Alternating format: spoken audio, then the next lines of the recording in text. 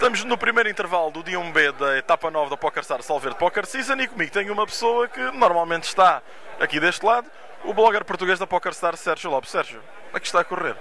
A correr bem. Uh, nestes primeiros 4 níveis já subi às 20 mil fichas e perdi agora 4 mil e tal nas, em duas das últimas três mãos, nas jogadas standard. Por isso acho que está, está a correr muito bem. Uh, isto é uma desintoxicação para o, daquilo que foi o W Cup?